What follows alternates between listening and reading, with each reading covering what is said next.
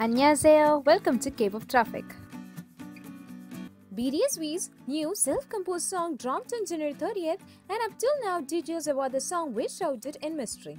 It turns out, however, that fans knew much more about scenery than they realized. V dropped his first hint about a surprise gift for ARMY at the 28th Seoul Music Awards, but he didn't specify what this gift would be until later.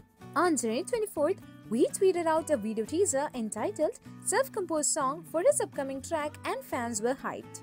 Self-composed song was all anyone knew about scenery or so they thought.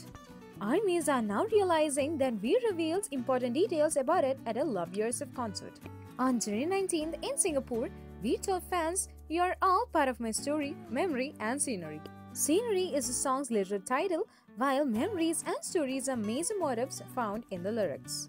At the time of the concert, V's message touched Army's hearts, but now that they know the full extent of its meaning, they love it twice as much. If you like the video, just subscribe to get contents like these and also it would make us happy.